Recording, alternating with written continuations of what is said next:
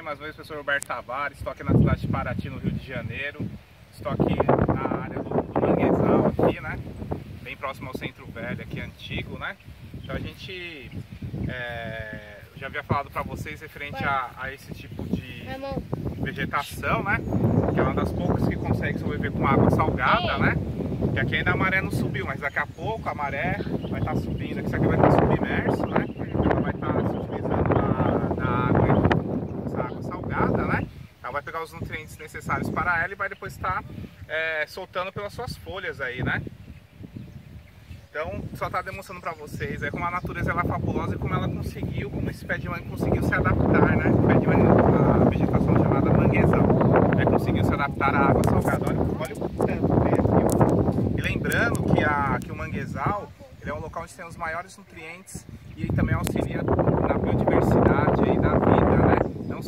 farinha, mais das aves e tantas outras